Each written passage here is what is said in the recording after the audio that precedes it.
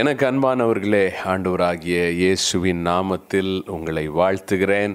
இந்த அருமையான செவ்வாய்க்கிழமையில் நாம் கூடி வருவது முக்கியமாக அந்த ஆன்லைன் மீட்டிங்கில் நாம் சந்திப்பது ஒரு பெரிய மகிழ்ச்சியாக இருக்கிறது.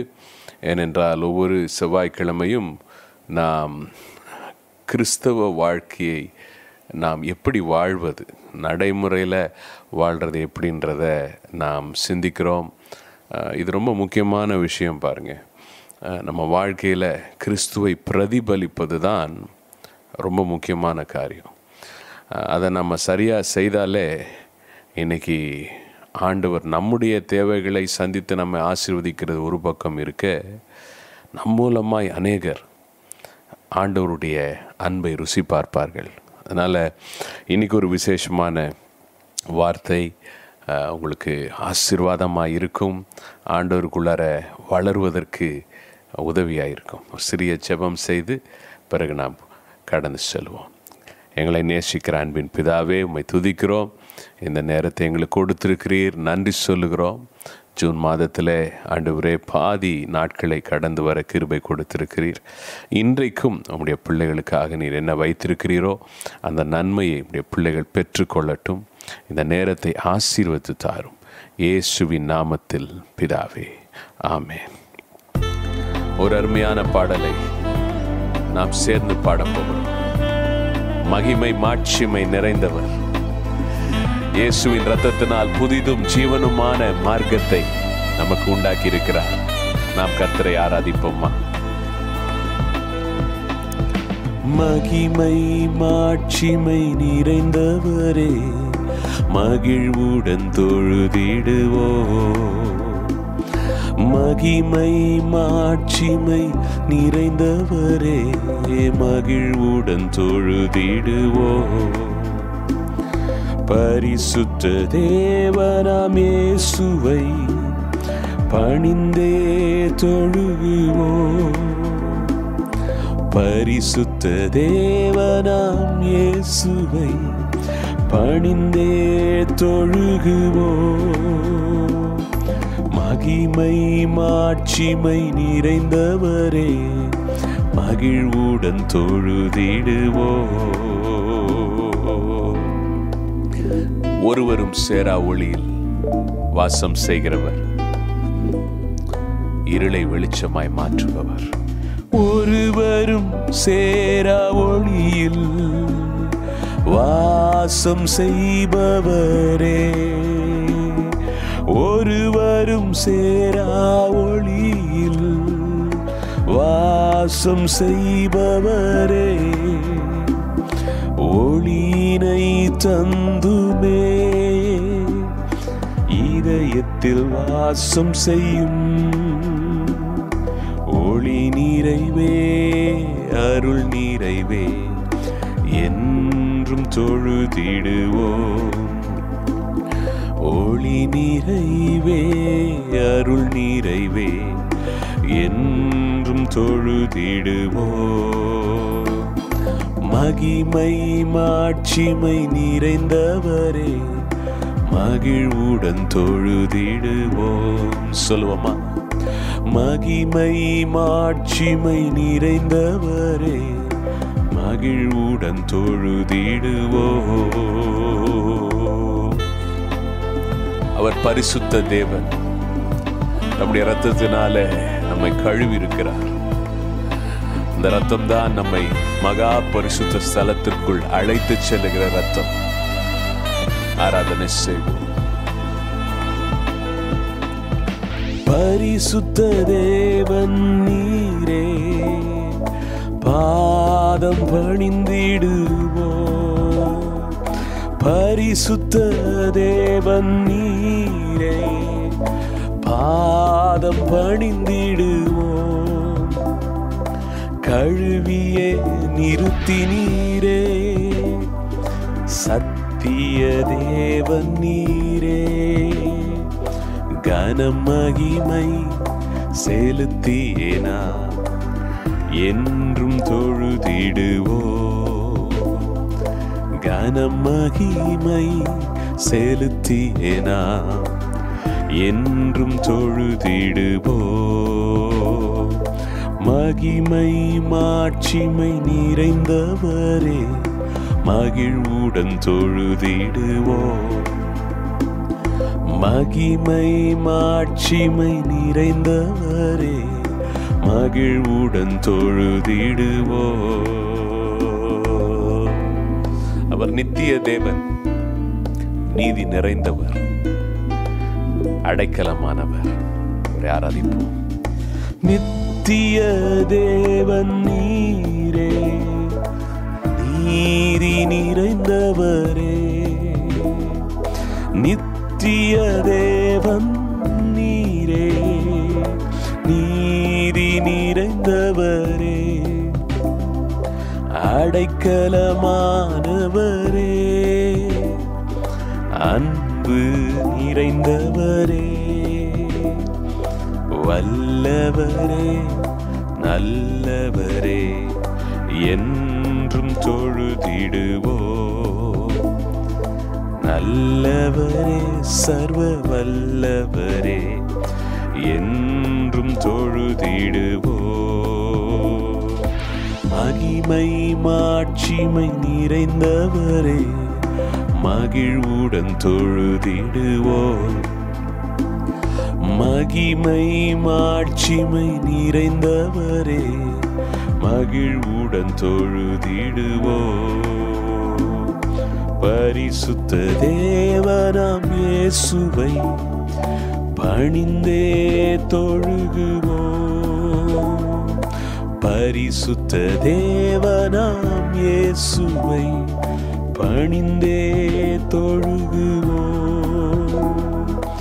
மகிமை மாட்சிமை நிறைந்தவரே மகிழ்வுடன் தொழுதிடுவோம். மகிமை மாட்சிமை நிறைந்தவரே மகிழ்வுடன் தொழுதிடுவோம். உம்மை மகிழ்வுடன் தொழுதிடுவோம். உம்மை மகிழ்வுடன் தொழுதிடுவோம். பிரேஸ் காட் லூயா ஆண்டவர் எவ்வளோ நல்லவராக இருக்கிறார். துதிகளின் மத்தியில் வாசம் செய்கிறார். இன்னைக்கு காலையில் நான் யாத்ராமம் இருபத்தி நாலாம் அதிகாரத்தை வாசித்து கொண்டிருந்தேன்.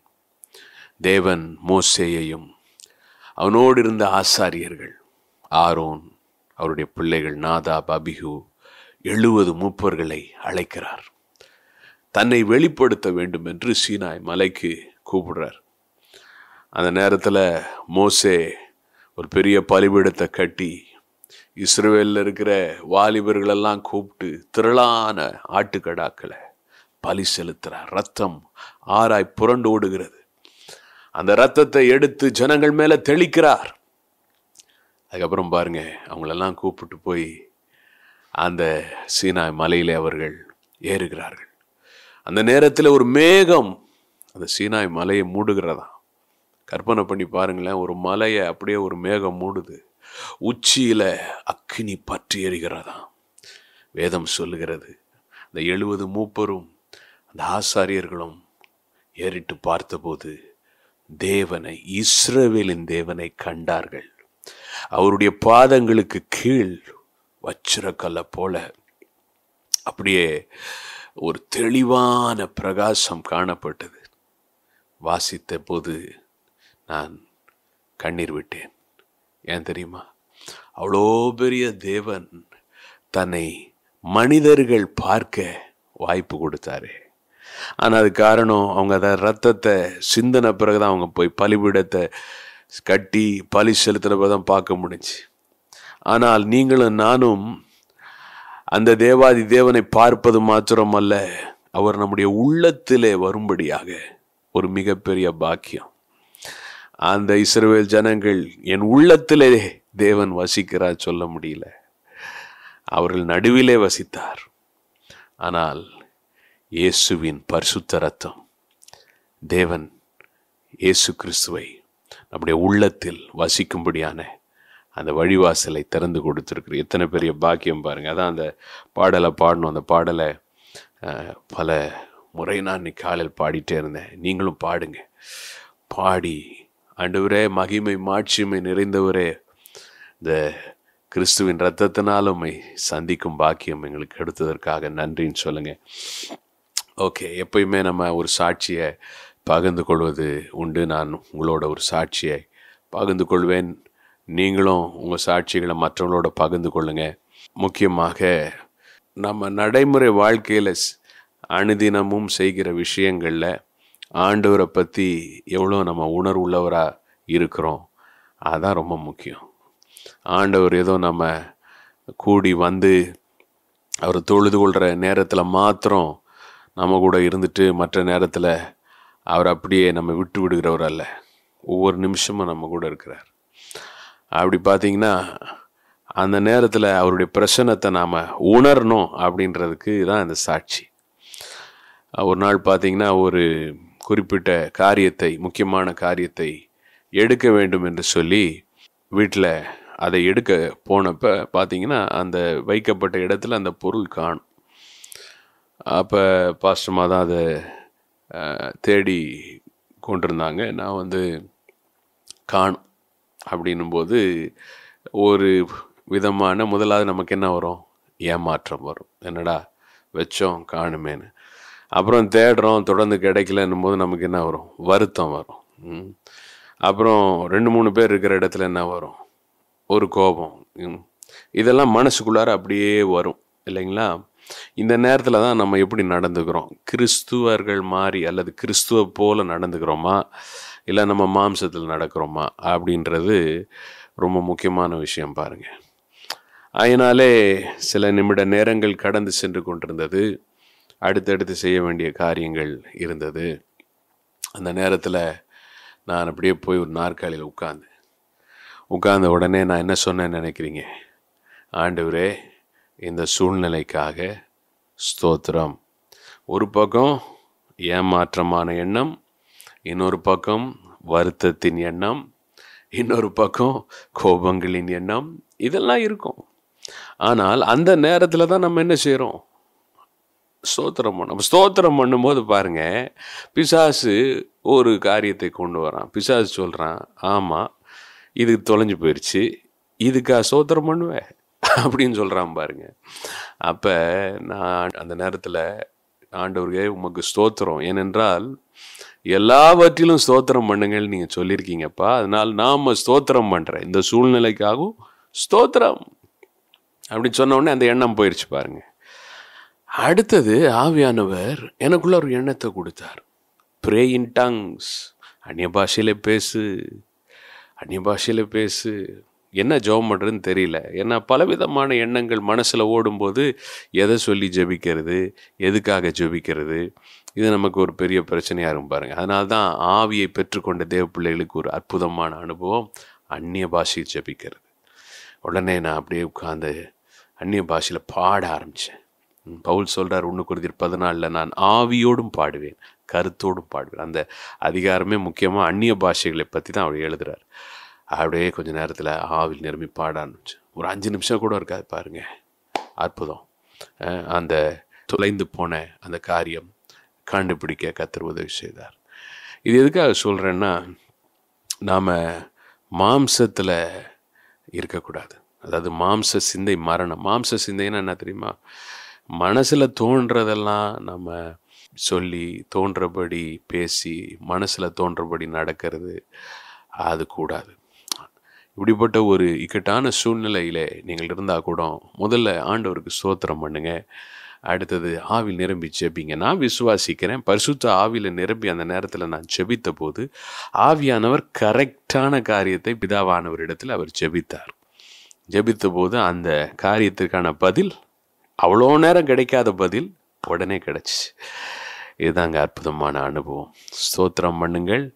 அந்நிய பாஷையில் கத்த நிச்சயமாக வழிவாசலை திறப்பார். முக்கியமாக கிறிஸ்துவை நாம் வெளிப்படுத்த முடியும். அதான் ரொம்ப முக்கியம் பாருங்கள் நாம் கிறிஸ்தவன் நான் கிறிஸ்தவன் கிறிஸ்தவன் சொல்லிக்கிறது இல்லை.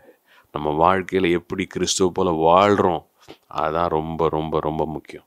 அதுக்கு நமக்கு உதவி செய்கிறவர் பரிசுத்தாவியானவர் கட்டாயமாக உதவி செய்வார். அப்போ பார்த்தீங்கன்னா இந்த ஒரு காரியத்தை செய்ததுனால பார்த்தீங்கன்னா அந்த சூழ்நிலையில் நான் கிறிஸ்துவை பிரதிபலிக்க முடிந்தது. நம்ம உலகத்திலேயே நல்ல பேர் வாங்கிடலாம். ஆனால் நம்ம வீட்டில் நம்ம மனைவி பிள்ளைகள் இந்த இடத்துல நம்ம ஒரு சாட்சியாக வாழ்கிறது தான் ரொம்ப முக்கியம். சில சொல்லுவாங்க வெளியில் புலி வீட்டில் எலின்னு சொல்லிட்டு. அது பிரயோஜனம் கிடையாது. எல்லா இடத்துலையும் நம்ம கிறிஸ்துவுக்கு சாட்சியாக நற்கந்தங்களாக இருக்க கர்த்தர் உதவி செய்வாராக. ஓகே இன்னைக்கு நம்ம ஆண்டவருடைய வார்த்தையை கேட்க போகிறோம். எப்படி நம்ம கிறிஸ்துவை பிரதிபலிப்பது? கிறிஸ்துக்குள்ளான கிறிஸ்துவுக்குள்ளான முதிர்ச்சி. அதை பற்றி தானே பார்த்துட்டு இருக்கோம் இன்னைக்கு. பாஸ்டர் பிரீதா மோசஸ் என்னுடைய அன்புள்ள துணைவியார். ஆண்டவருடைய வார்த்தையை கொண்டு வர போகிறாங்க நிச்சயமாக அவங்களுக்கு ஆசீர்வாதமாக இருக்கும். மனதை திறந்து வைத்து கத்தருடைய வார்த்தையை பெற்றுக்கொள்வோம். பிரைஸ் லாட் ஆவிக்குரிய வாழ்க்கையில் முதிர்ச்சியை நோக்கி பயணம் செய்து கொண்டிருக்கும் உங்கள் ஒவ்வொருவரோடும் ஆவிக்குரிய முதிர்ச்சியை குறித்து இந்த நாளில் பகிர்ந்து கொள்ளும்படியான பாக்கியத்தை ஆண்டவர் கொடுத்திருக்கிறார். அது பெரும் மகிழ்ச்சியை கொடுக்கிறது. போன வாரத்தில் நம்முடைய தலைமை போதகர் அவர்கள் ஆவிக்குரிய வளர்ச்சியை குறித்து நம்மோடு பகிர்ந்து கொண்டாங்க. அநேக நல்ல உதாரணங்களோடு நம்மோடு பகிர்ந்து கொண்டாங்க. இன்னைக்கு கூட நாம் தொடர்ந்து செய்தியை நாம் பார்க்க போகிறோம். இன்னைக்கு நம்ம பார்க்க போகிற காரியம் திமோத்தி இளம் வயதாக இருந்தார். விசுவாசத்தில் வளர்கிற ஒரு நபராக இருந்தார். ஆகையால் பவுல் தீமோத்தேக்கு அங்கே சில அறிவுரைகளை கூறுகிறதை நாம் பார்க்கிறோம். ஒன்று தீமோத்தேயு நான்காம் அதிகாரம் பனிரெண்டு முதல் பதினாறு வசனங்களில் நம்ம இதை பார்க்கலாம். உன் இளம் வயதை குறித்து ஒருவனும் உன்னை அசட்டை பண்ணாதபடிக்கு நீ வார்த்தையிலும் நடக்கையிலும் அன்பிலும் ஆவியிலும் விசுவாசத்திலும் கற்பிலும் விசுவாசிகளுக்கு மாதிரியாயிரு. நான் வருமளவும் வாசித்தலிலும் புத்தி சொல்லுதலிலும் உபதேசிக்கிறதிலும் ஜாக்கிரதையாயிரு. மூப்பராகிய சங்கத்தார் உன்மேல் கைகளை வைத்தபொழுது தீர்க்க தரிசனத்தினால் உனக்கு அளிக்கப்பட்ட வரத்தை பற்றி அசதியாயிராதே. நீ தேறுகிறது யாவருக்கும் விளங்கும்படி இவைகளையே சிந்தித்து கொண்டு இவைகளிலே நிலைத்திரு. உன்னை குறித்தும் உபதேசத்தை குறித்தும் எச்சரிக்கையாயிரு. இவைகளில் நிலை கொண்டிரு இப்படி செய்வாயானால் உன்னையும் உன் உபதேசத்தை கேட்கிறவர்களையும் ரச்சித்து கொள்வாய் இங்கே நம்ம பார்க்குறோம் தீமோத்திக்கு பவுல் எப்படி ஆவிக்குரிய முதிர்ச்சியை அடைய வேண்டும் என்று சொல்லி சில குறிப்புகளை இங்கே தீமோத்தி அவர்களுக்கு கொடுக்கிறதை நாம் பார்க்குறோம். முக்கியமாக அதில் நம்ம பார்க்குற காரியம் எதிலெல்லாம் வளரணும் எதையெல்லாம் பற்றி கொள்ள வேண்டும் என்று சொல்லி பவுல் சொல்லுகிறார் என்று சொல்லி நாம் பார்ப்போம் என்றால் வார்த்தையிலும் நடக்கையிலும் அன்பிலும் ஆவியிலும் விசுவாசத்திலும் கற்பிலும். ஆகையால் இந்த காரியங்களில் நிலைத்து நிற்கணும் வளர வேண்டும் என்று சொல்லி அங்கே அறிவுரை கொடுக்கப்படுகிறதை நாம் பார்க்கிறோம். ஆகையால் வார்த்தையில் நாம் வளர வேண்டும் என்றால் நம்முடைய வாழ்க்கையில் தேவனுடைய வார்த்தை மீது ஒரு வாஞ்சை வேண்டும். ஒரு விருப்பம் வேண்டும். நாம் அதை வாஞ்சித்து வாசிக்கும் பொழுது அந்த வார்த்தைகள் நம்முடைய இருதயத்தை நிரப்புகிறதாய் இருக்கிறது. ஆகையால் அந்த வார்த்தைகள் நம்முடைய வாழ்க்கையில் அது நிச்சயமாய் நம்மை செம்மையான பாதையில் நடத்துகிற வார்த்தைகளாக இருக்கிறது. அப்போ வார்த்தையில் நாம் வளருகிறவர்களாய் வார்த்தை அனுதினமும் நம்ம வார்த்தையை உட்கொள்ளுகிறவர்களாக இருதயத்தில் சேகரிக்கிறவர்களாய் நாம் இருக்க வேண்டும். உதாரணத்துக்கு நம்முடைய இருதயத்துக்குள்ள என்ன இருக்கிறதோ அதுதான் நம்முடைய செயலாக அது வெளிப்படுகிறதா இருக்கிறது. நம் வாயின் வார்த்தைகளில் அவைகள் வெளிப்படுகிறதா இருக்கிறது. ஆகையால் நம்முடைய இருதயம் செம்மையாக இருக்க வேண்டும் என்றால் தேவனுடைய வார்த்தையினால் அது நிரப்பப்பட வேண்டும். உலகத்தின் காரியங்களினால் நம்முடைய இருதயம் நிரப்பக்கூடாதபடிக்கு நம்முடைய இருதயம் நன்மையினாலும் தேவனுடைய வார்த்தையினாலும் நிரம்பி இருக்கும் பொழுது நம்முடைய வாழ்க்கை அதில் வித்தியாசத்தை நாம் பார்க்க முடியும். உதாரணத்துக்கு ஒரு டம்ளர் நாம் எடுத்துக்கொள்வோம். இந்த டம்ளரில் அதில் எதனால் நாம் அதை நி- நிரப்புகிறோமோ அப்போ அதுதான் நம்ம இப்படி கொட்டும் பொழுது அங்கேருந்து வெளியே வருது. இல்லைங்களா? அப்போ நம்ம தண்ணியை ஒரு டம்ளரில் நிரப்பினோன்னா அந்த டம்ளர் இப்படி கவுத்தும் பொழுது தண்ணி தான் கொட்டும். ஜூஸ் வராது. இல்லைங்களா?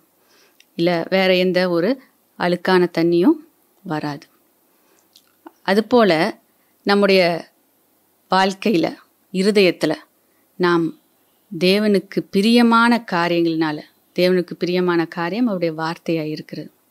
அந்த வார்த்தையினால் நாம் நிரப்பப்படும் பொழுது நம்முடைய இருதயம் ஒரு சூழ்நிலையில் அந்த ஒரு இப்படி டம்ளர் டேபிள் மேலே வைக்கப்பட்டிருக்கும் போது அந்த டேபிள் இப்படி அசைக்கப்படுது ஒரு சூழ்நிலை வருது. அப்படின்னும் போது அதிலிருந்து அந்த டம்ளர் சாயும் போது அங்கே டம்ளருக்குள்ளே என்ன இருக்கோ அதுதான் வெளியே வருது. அதுபோல் நம்முடைய வாழ்க்கையில் ஒரு சூழ்நிலை எதிர்பார்க்காத ஒரு சூழ்நிலை ஒரு அசைவு வரும் பொழுது நாம் எப்படி ரியாக்ட் பண்ணுறோம் நம்முடைய இருதயத்துக்குள்ளேருந்து என்ன வெளியே வருது என்பதை எது நிர்ணயிக்கிறது என்றால் நாம் எதுனால் நம்முடைய இருதயத்தை நிரப்பி இருக்கிறோமோ அதுதான் நிர்ணயிக்கிறது. அப்போ நம்முடைய இருதயம் வார்த்தையினால் நிரப்பப்பட்டு இருக்கும் என்றால் எந்த சூழ்நிலையிலும் நாம் நன்மையான காரியத்தை வெளிப்படுத்துகிறவர்களாக இருப்போம். அதுதான் பவுல் திமுத்திக்கு சொல்லுகிறார். அந்த வார்த்தையே என்ன பண்ணு? நீ வாசி அதை நீ தியானித்து கொண்டிரு. நான் வர வரைக்கும் நீ அதை செய் அப்படின்னு சொல்லிட்டு பவுல் சொல்கிறத பார்க்குறோம். அப்படியாக ஆண்டவுடைய வருகை வர வரைக்கும் நம்ம என்ன செய்யணும்? ஆண்டவுடைய வார்த்தையினால் நம்முடைய இருதயத்தை நாம் நிரப்ப வேண்டும். அப்பொழுது நம்முடைய சூழ்நிலையில் தேவனுடைய வார்த்தை தான் வெளிப்படும். ஒரு பிரச்சனைன்னு வரும்போது ஆண்டவர் எனக்கு இந்த வாக்குத்தத்தத்தை கொடுத்திருக்கிறார். நிச்சயமாக இதை நிறைவேற்றுவார். அவர் ஒருபோதும் என்னை தனியாக விட மாட்டார். அவர் என்னை விட்டு விலகுகிற தேவன் அல்ல. அவர் என்னை நேசிக்கிறவர். அவர் எனக்கு நன்மை செய்கிறவர் என்று சொல்லி ஆண்டுடைய வார்த்தைகள் தான் அந்த சூழ்நிலை மத்தியில் நம்முடைய இருதயத்திலேருந்து வெளியே வரும். அப்படி ஒருவேளை நம்ம வார்த்தையினால் நிரப்பப்படாமல் இருந்தோம் என்றால் அந்த சூழ்நிலையை பார்த்த உடனே பயம் வெளியே வரும். கலக்கம் வெளியே வரும். ஒரு குழப்பம் இருக்கும். என்ன செய்ய வேண்டும்? என்ன தீர்மானத்தை எடுக்க வேண்டும் என்று நமக்கு தெரியாது. ஆகையால் நம்முடைய இருதயத்தை வார்த்தையினால் நாம் நிரப்ப வேண்டும். மத்தேயு பதினைந்து பதினெட்டு பத்தொம்போதை நம்ம வாசிக்க கேட்போம்னா வாயிலிருந்து புறப்படுகிறவைகள் இருதயத்திலிருந்து புறப்பட்டு வரும். அவைகளே மனுஷனை தீட்டுப்படுத்தும்.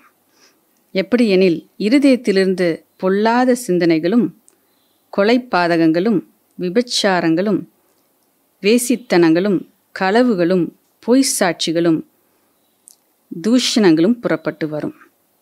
ஆகையால் இங்கே நம்ம பார்க்குறோம் வாயிலிருந்து புறப்பட்டு வருகிறது ஒரு மனுஷனை தீட்டுப்படுத்துகிறது. அந்த வார்த்தைகள் எங்கிருந்து வருகிறது? இருதயத்திலிருந்து வருகிறது. ஸோ இருதயத்தில் என்னெல்லாம் தேவனுக்கு பிரியமில்லாத காரியம் இவைகள் நம்ம படித்தோம் இல்லைங்களா? இவைகள் இருதயத்தில் இருக்கும்போது இவைகள் வெளியே வருகிறது. ஆகையால் இவைகளை நாம் நம்முடைய இருதயத்திலிருந்து எடுத்து போட்டு தேவனுடைய வார்த்தையினால் நம்முடைய இருதயத்தை நிரப்பும் பொழுது நம்முடைய சூழ்நிலைகளில் நிச்சயமாய் நாம் ஜெயத்தை பார்க்க முடியும். ஆவிக்குரிய வாழ்க்கையில் முதிர்ச்சியை நாம் பெற்றுக்கொள்ள முடியும். ஆவிக்குரிய வாழ்க்கையில் முதிர்ச்சியை பெற்றுக்கொண்டவர்களைப் போல ஒரு சாட்சியான வாழ்க்கையை அந்த சூழ்நிலை மத்தியில் நாம் வாழ முடியும். அடுத்து நம்ம பார்க்குற காரியம் ஆவியில் நாம் பலன் அடைய வேண்டும். அப்போ ஆவியில் நம்ம பலன் அடைய வேண்டும் என்றால் ஆவியானவருக்கு நாம் நம்மை விட்டு கொடுக்க வேண்டும். நம்முடைய ஆளுகையை ஆவியானவருக்கு நாம் கொடுத்து விட வேண்டும். ஆவியானவரால் நாம் நிரப்பப்பட நாம் வாஞ்சிக்க வேண்டும். அவருக்கு இடம் கொடுக்க வேண்டும். ஆவியானவருக்கு நாம் இடம் கொடுக்கும் பொழுது அவர் நம்மை ஆளுகை செய்கிறவராய் இருக்கிறார். இப்போ நம்முடைய வாழ்க்கையில் ஏதோ ஒருவர் நிச்சயம் ஆளுகை செய்து கொண்டு இருக்கிறார் நாம் ஆண்டவருக்கு அந்த ஆளுகையை கொடுப்போம் என்றால் பரிசுத்த ஆவியானவர் நம்மை ஆளுகை செய்து நம்மை நடத்துவார். இல்லை என்றால் நாம் உலகத்துக்கு இல்லைனா சத்ருவுக்கு இல்லை மாம்சத்துக்கு நாம் நம்முடைய அந்த ஆளுகையை நாம் கொடுத்து விடுகிறோம். இப்போ எப்படி ஒரு மீன் தண்ணியில் இருக்குது தண்ணியிலேருந்து எடுக்கும்போது தண்ணியிலேருந்து அது எங்கே வருது? காற்று மண்டலத்துக்கு வருகிறது. இல்லைங்களா? அப்போ எனக்கு தண்ணி வேணாம் அப்படின்னு சொல்லிட்டு அந்த மீன் வெளியே வரும்போது இன்னொரு ஒரு மண்டலத்துக்குள்ளே தானாகவே வருகிறது. இதுவும் வேணாம் அதுவும் வேணான்னு அந்த மீன் சொல்லவே முடியாது. ஏதோ ஒரு மண்டலத்தில் இருந்து தான் ஆகும். இல்லைங்களா? அதுபோல் ஆண்டோடைய ஆளுகை என் வாழ்க்கையில் வேண்டாம். ஆவியானவருக்கு நான் ஒப்பு கொடுக்க மாட்டேன் அப்படின்னு சொன்னோன்னா தானாகவே எந்த ஆளுகைக்குள்ளே நம்ம கடந்து போகிறோம்? சத்ருவுடைய ஆளுகை. என்றால் உலகத்தின் காரியம் இல்லை மாம்சத்தின் கிரியைகள். இவைகளுக்கு நாம் நம்முடைய வாழ்க்கையில் ஆளுகையை விட்டு கொடுக்கிறோம். ஆகையால் நாம் ஜாக்கிரதையாய் இருக்க வேண்டும். நம்ம பார்க்கும்போது ஆவியானவருக்கு நம்முடைய வாழ்க்கையில் நம்ம இடம் கொடுக்கும்போது நம்முடைய வாழ்க்கை எப்படி இருக்கும் அப்படின்னா அவர் சொல்லுகிறபடி நாம் நடக்கிறவர்களாக நாம் இருப்போம். உதாரணத்துக்கு நம்ம பார்ப்போம் என்றால் ரிமோட் கண்ட்ரோல் கார் இல்லைங்களா? சின்ன பிள்ளைங்க வச்சு விளையாடுவாங்க. அப்போ லெஃப்டில் திரும்பணும் அப்படின்னு சொன்னால் அது லெஃப்டில் திரும்பும். ரைட்டில் பட்டன் அமுக்கும்போது ரைட்டில் திரும்பும் நேராக போகணும் அப்படின்னா நேராக போகும் பின்னாடி ரிவர்ஸ்னால் ரிவர்ஸில் வரும். அப்போ அந்த பிள்ளைகள் என்ன விரும்புகிறார்களோ அதை தான் என்ன பண்ணுது? அந்த கார் கீழ்ப்படிந்து செயல்படுது. ஏன்? அந்த கனெக்ஷன் இருக்குது காருக்கும் அந்த நபர்களுக்கும் மத்தியில் ஒரு கனெக்ஷன் உருவாக்கப்பட்டு இருக்கிறது. அப்போ நம்முடைய வாழ்க்கையில் நாம் ஆவியானவரோடு தொடர்பில் இருப்போம் என்றால் அவர் விரும்புகிறபடி நம்முடைய வாழ்க்கை அவர் நடத்துவார். நாம் அப்படி பிரயாணம் செய்யும்போது நாம் நிறைவான ஆசிர்வாதத்தையும் பாதுகாப்பையும் நாம் நிச்சயமாக நம்முடைய வாழ்க்கையில் பெற்றுக்கொள்ள முடியும். அதே நேரத்தில் அந்த ஆளுகையை நம்ம உலகத்துக்கு நாம் விட்டு கொடுப்போம் என்றால் நாம் சரியான திசையில் போக முடியாது. ஆசிர்வாதத்தை நாம் பார்க்க முடியாது. ஆகையால் நம்முடைய ஆளுகையை பரிசுத்த ஆவியானவருக்கு நாம் கொடுக்க வேண்டியவர்களாய் நாம் இருக்கிறோம். அப்படின்னா நம்ம ஆவியில் நிரம்புகிறவர்களாய் நாம் இருக்க வேண்டும். ஆவியானவர்னால நம்ம நிரம்பி இருக்கும்போது அவர் நம்மை வழி நடத்துகிறவராக இருக்கிறார். நம்ம இயேசுவுடைய வாழ்க்கையில் நம்ம பார்த்துருக்குறோம் இல்லைங்களா? ஆவியானவர் என்ன பண்ணார்? அவரை வனாந்திரத்துக்கு அவர் சோதிக்கும்படியாக வழி நடத்தப்பட்டார் என்று சொல்லி நாம் பார்க்கிறோம். ஆகையால் ஆவியானவருக்கு நம்முடைய ஆளுகையை நாம் விட்டு கொடுக்கும் பொழுது அவர் நம்மை ஆளுகை செய்ய நாம் அனுமதிக்கும் போது அவர் நம்மை வழி நடத்துகிற தேவனாக இருக்கிறார். அதே நேரத்தில் பிலிப்புடத்தில் ஆவியானவர் என்ன பண்ணுறார் நீ வனாந்திரத்துக்கு போ என்று சொல்லி அந்த அந்த சேரியட்டோட நீ என்ன பண்ணு? ஓடி போய் சேர்ந்து கொள் என்று சொல்லி ஆவியானவர் அங்கு உணர்த்துகிறதை நாம் பார்க்கிறோம். அப்படியாக அவர் என்ன பண்ணுறார் ஓடி போய் அதோடு கூட அவர் இணைந்து கொள்ளுகிறதை பார்க்கிறோம்.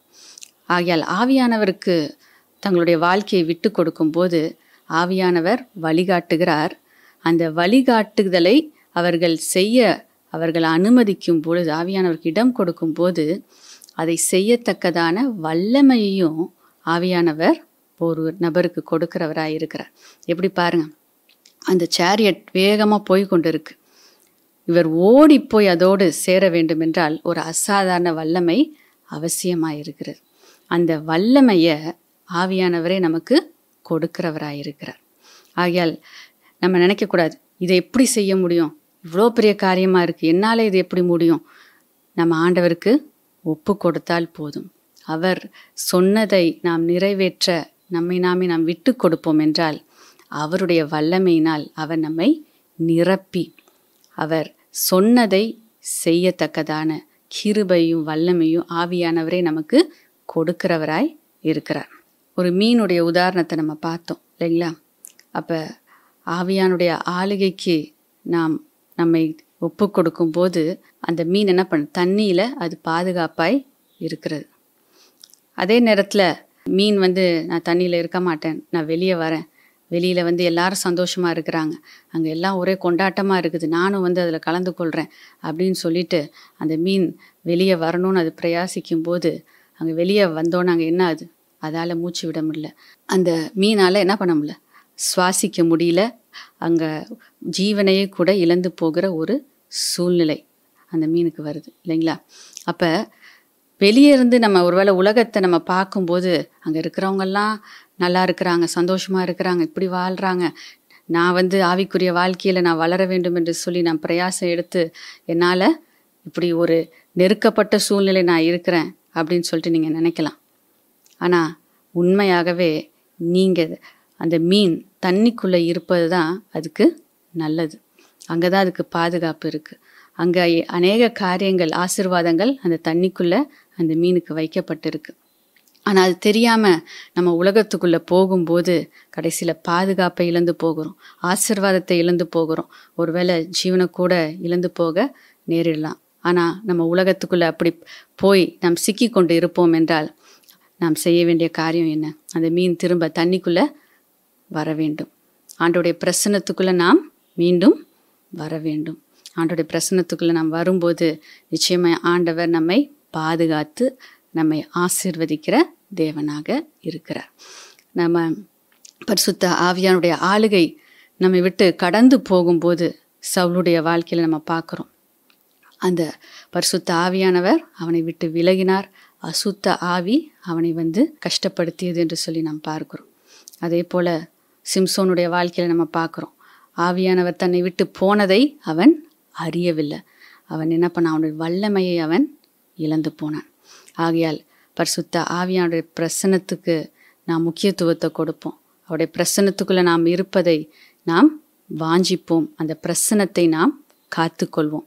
அதை இழந்து போய் ஆசிர்வாதத்தையோ இல்லை ஜீவனையோ இழந்து போவது தேவனுக்கு சித்தமான காரியம் அல்ல. ஆகையால் நாம் ஆவியில பலன் கொண்டு ஆவியானவருக்கு நம்மளுடைய வாழ்க்கையில இடம் கொடுத்து ஆவியானவரால் நிரம்பி இருக்க நாம் முயற்சி செய்வோம்.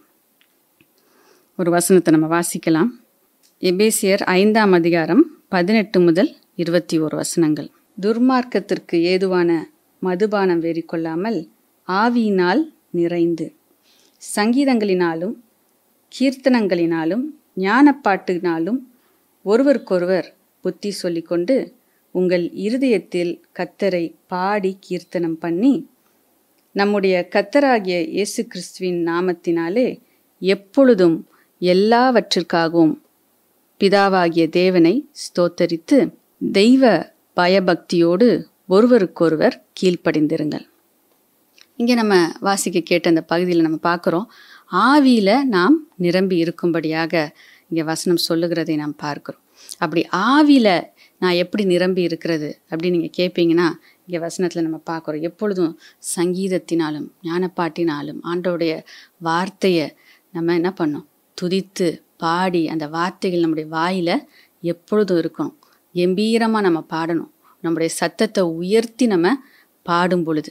அது நம்ம பார்க்குறோம் அவருடைய நாமத்து நிமித்தமாக அவர் செய்த நன்மைகளை எல்லாம் நம்ம நினைத்து நாம் நன்றி சொல்லும்போது பரிசுத்த ஆவியானவுடைய நிறைவை நாம் பெற்றுக்கொள்கிறோம். ஒருவருக்கொருவர் கத்தருக்கு பயப்படுற பயத்தோடு நம்ம என்ன பண்ணணும்? தாழ்மையுள்ளவர்களாக. அந்த பயம் இருக்கும்போது கத்தருக்கு பயப்படுகிற பயம் நம்ம இருதயத்தில் இருக்கும்போது தாழ்மை இருக்கும்போது பரிசுத்த ஆவியானவரால் நாம் நிரப்பப்பட்டவர்களாய் நாம் இருப்போம். அப்படி பரிசுத்த ஆவியானவரால் நாம் நிரம்பி இருக்கும்போது எந்த தீங்கும் நம்மை அணுக முடியாது. நாம் நம்மளுக்கு வருகிற சோதனையில் நாம் முன்னேறி செல்கிறவர்களாய் நாம் இருப்போம். ஆவிக்குரிய முதிர்ச்சி நமக்குள்ள நிச்சயமாய் காணப்படும். ஆகையால் இந்த முதிர்ச்சி நமக்குள்ள இருக்கும்போது நம்ம என்ன பண்ண முடியும்? நிச்சயமாய் வெற்றியை நாம் நம்முடைய வாழ்க்கையில் பார்க்க முடியும். ஆக நம்ம பார்த்தோம். பவுல் சொன்னது போல முதலாவது வார்த்தை அடுத்தது நம்முடைய வாழ்க்கை செயல்கள் அடுத்தது ஆவியானவர். இவைகள்னால வார்த்தையினாலும் ஆவியானவராலும் நம்ம நிரப்பப்பட்டு இருக்கும்போது நம்முடைய வாழ்க்கையில் அந்த முயற்சி நிச்சயமாய் வெளிப்படுகிறதா இருக்கிறது. அதற்கப்புறம் நம்ம பார்க்குற காரியம் அன்பு விசுவாசம் பரிசுத்தம். ஸோ இவைகளில் நாம் என்ன பண்ண வேண்டும்? தொடர்ச்சியாய் வளருகிறவர்களாய் நாம் இருக்க வேண்டும். தேவன் நமக்கு அன்பு கொடுத்திருக்கிறார் விசுவாசத்தை கொடுத்திருக்கிறார் பரிசுத்தத்தை கொடுத்திருக்கிறார். இதில் அதிக அதிகமாய் நாம் தொடர்ந்து வளருகிறவர்களாய் நாம் இருக்க வேண்டும். அப்படி நம்ம வளரணும். அப்படி வளரும்போது தான் நம்ம என்ன பண்ண முடியும்? முதிர்ச்சியை நம்முடைய வாழ்க்கையில் பார்க்க முடியும். உதாரணத்துக்கு ஒரு பக்கெட்டில் தண்ணியை ஒரு ஃபுல் பக்கெட் தண்ணி பிடிச்சி நீங்கள் மொட்டை மாடியில் போய் வைங்க. ஒரு நாள் ஃபுல்லாக இருக்கும்போது நீங்கள் சாயங்கால வேலையில் நீங்கள் போய் பார்ப்பீங்கன்னா அந்த தண்ணி என்ன பண்ணியிருக்கும் குறைஞ்சிருக்கும். இல்லைங்களா? ஏன்? இந்த சூரிய வெப்பம். அந்த தண்ணி என்ன பண்ணுது? அப்படியே எவாப்ரேட் ஆகி போகுது. அப்போ நம்ம நினைக்கக்கூடாது ஆவிக்குரிய வாழ்க்கையில் ஆண்டவர் எனக்கு எல்லாம் கொடுத்துருக்கிறார். எனக்கு விசுவாசத்தை கொடுத்துருக்கிறார் எனக்கு பரிசுத்தத்தை கொடுத்துருக்கிறார். நான் அப்படியே இருந்துட்டு போகிறேன் அப்படின்னு சொல்லிட்டு நம்ம நினைக்கக்கூடாது அது என்ன ஆகுது? உலகத்தில் நம்ம வாழும் பொழுது அந்த விசுவாசம் அந்த பரிசுத்தம் என்ன பண்ண அந்த அன்பு என்ன பண்ணுது? அது தணிந்து கொண்டே போகிறது. நம்ம ஆவிக்குரிய வாழ்க்கையில் மட்டும் நான் பெற்றுக்கொண்டதை நான் அப்படியே காத்து கொண்டு இருக்கிறேன் அப்படின்னு நம்ம சொல்லவே முடியாது. ஏனென்றால் பெற்றுக்கொண்ட காரியம் நாம் தொடர்ந்து அதை நாம் வளர்க்கவில்லை என்றால் அது குறைந்து கொண்டே போகும். ஆகையால் நம்ம என்ன பண்ணோம் அப்போ அந்த பக்கெட்டில் திரும்ப தண்ணி நிரப்பப்பட வேண்டுமென்றால் இன்னும் கொஞ்சம் தண்ணீரை நம்ம ஊற்றி வைக்கணும். இல்லை அப்படி ஊற்றாமலே நம்ம நாட்கள் கடந்து போயிட்டே இருந்தால் என்ன ஆகும்? அந்த தண்ணி வற்றி போய்விடும். சரிங்களா அப்போ ஆவிக்குரிய வாழ்க்கையில் நாம் இருக்கிறது போதும் அப்படின்னு நம்ம வாழ முடியாது. ஒவ்வொரு நாளும் நம்ம என்ன பண்ணும்? வளருகிறவர்களாய் நாம் இருக்கணும். அன்பில் நாம் வளர வேண்டும். விசுவாசத்தில் நாம் வளர வேண்டும். பரிசுத்தத்தில் நாம் வளர வேண்டும். வளர வேண்டுமென்றால் அதற்கேற்ற பிரயாசங்களை நாம் அணுதினமும் நாம் எடுக்க வேண்டும். எப்படி அந்த தண்ணியை கொண்டு போய் அந்த பக்கெட்டில் திரும்ப ஊத்துறாங்களோ அதே போல் நம்ம ஆவிக்குரிய அந்த வார்த்தையினாலையும் வசனத்தினாலும் ஆவிக்குரிய அந்த அபிஷேகத்தினாலையும் நம்ம என்ன பண்ண வேண்டும்? அனுதினமும் நிரப்பப்பட வேண்டும். நாம் விசுவாசத்தை வளர்க்கத்தக்கதாக தேவனுடைய வார்த்தைகளை நாம் அறிக்கை செய்து அதை மனப்பாடம் செய்து நாம் நம்முடைய சூழ்நிலைகளில் அந்த வார்த்தைகளை நாம் விசுவாசத்தோடு பயன்படுத்த வேண்டும். தேவனுடைய அன்பை நாம் மற்றவர்களுக்கு வெளிப்படுத்த வேண்டும். பரிசுத்தத்தை எந்த சூழ்நிலையிலையும் நாம் பயிற்சி செய்து கொண்டே இருக்க வேண்டும். அப்படி நாம் செய்யும்போது ஆவிக்குரிய வாழ்க்கையில் நிச்சயமாய் நாம் முதிர்ச்சியை பார்க்க முடியும். பவுல் சொல்லுகிறார் ரெண்டு தீமத்தி நாலாம் அதிகாரம். ஏழு எட்டு வசனங்கள்ல நல்ல போராட்டத்தை போராடினேன் ஓட்டத்தை முடித்தேன் விசுவாசத்தை காத்து கொண்டேன் இது முதல் நீதியின் கிரீடம் எனக்காக வைக்கப்பட்டிருக்கிறது. ஆகையால் பவுல போல நாம் விசுவாசத்தில் தொடர்ந்து ஓடுவோம் என்றால் தேவன் நமக்கு கொடுத்திருக்கிற அழைப்பை நாம் அறிந்து அதற்கேற்ற வண்ணமாய் நாம் சோர்ந்து போகாமல் விசுவாசித்து ஆவியானுடைய வல்லமையோடு ஆவியானுடைய அபிஷேகத்தோடு தேவ வார்த்தையை நாம் அறிக்கை செய்து தொடர்ந்து நம்முடைய வாழ்க்கையை ஓடிக்கொண்டே இருப்போம் என்றால் நமக்காகவும் ஒரு ஜீவ கிரீடம் வைக்கப்பட்டிருக்கிறது. அந்த ஜீவ கிரீடத்தை நிச்சயமாய் நாம் நம்முடைய வாழ்க்கையில் பெற்றுக்கொள்ள முடியும். ஆகிய அந்த நாளில் நாம் பார்த்துருக்குறோம் பவுல் திமத்திக்கு சொன்ன அறிவுரையில் அவர் சொல்லி கொடுத்த அந்த காரியத்தை நாமும் நாம் பின்பற்றுவோம் என்றால் நிச்சயமாய் ஒரு முதிர்ச்சியை நம்முடைய வாழ்க்கையில் நம்ம பார்ப்போம். ஜீவ கிரீடத்தை நாம் பெற்றுக்கொள்ளுகிறவர்களாய் இருப்போம். ஆகையால் நாம் வார்த்தையிலையும் நம்முடைய வாழ்க்கையில் அது வெளிப்படும்படியாக செயல்களிலும் ஆவியிலையும் அன்பிலையும் விசுவாசத்திலையும் கடைசியாக பரிசுத்தத்திலையும் நாம் வளரும்போது நிச்சயமாய் ஒரு முதிர்ச்சியை நம்முடைய வாழ்க்கையில் நாம் பார்ப்போம். இந்த இடத்துல நம்ம ஒப்பு கொடுத்து நம்ம ஜெபிக்கலாமா உமக்கு நாங்கள் நன்றி செலுத்துகிறோம் அப்பா. இந்த நாளில் நீர் பேசின வார்த்தைகளுக்காக நாங்கள் நன்றி செலுத்துகிறோம். அப்பா அதிக அதிகமாய் நாங்கள் வளர உம்முடைய வார்த்தை எங்கள் இருதயத்தில் கத்தாவை நிரப்பப்பட. அப்போ ஆவியானவரால் அனுதினமும் நாங்கள் நிரப்பப்பட எங்களை நாங்கள் அர்ப்பணிக்கிறோம் ராஜா. அப்படியாக கத்தாவே அப்பா வார்த்தையினாலும் ஆவியானவருடைய அபிஷேகத்தினால நாங்கள் நிரப்பப்படும் பொழுது அப்பா அன்பிலையும் அப்பா விசுவாசத்திலையும் பரிசுத்தத்திலையும் எங்களுடைய வாழ்க்கையில் அது வெளிப்படத்தக்கதாக ஒரு முதிர்ச்சியை நாங்கள் பெற்றுக்கொள்ளத்தக்கதாக அப்பா ஒவ்வொரு நாளும் முன்னேறி செல்லுகிறவர்களாக அந்த வார்த்தையும் ஆவியானுடைய பிரசனமும் எங்களை மாற்றுகிறதா இருக்கிறதற்காக நாங்கள் நன்றி சொல்லுகிறோம் அப்பா. இந்த நாள் முதல் கத்தாவே அப்போ நாங்கள் கற்றுக்கொண்ட இந்த காரியங்களில் நாங்கள் வளரும்படியாக நாங்கள் செயல்பட இந்த நாளில் ஒரு தீர்மானத்தை நாங்கள் எடுக்கிறோம் ராஜா. அப்பா வார்த்தையினால் நாங்கள் நிரப்பப்பட. ஆவியானுடைய அபிஷேகத்தினால் நாங்கள் நிரப்பப்பட. எங்களை நாங்கள் அர்ப்பணிக்கிறோம் ராஜா. நீர் எங்களுக்கு உதவி செய்வீராக.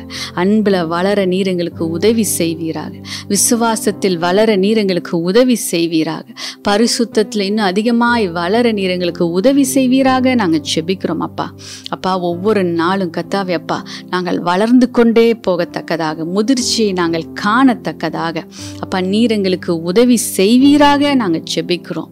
அப்பா திமுத்தைக்கு கத்தாவே அப்பா ஆவியில் வளரத்தக்கதாக பவுல் சொல்லி கொடுத்த காரியத்தை அவர் செய்து அநேக விசுவாசிகளுக்கு முன்பாக சாட்சியாய் அவர் வாழ்ந்தது போல நாங்களும் வாழ எங்களை நாங்கள் அர்ப்பணிக்கிறோம்ப்பா.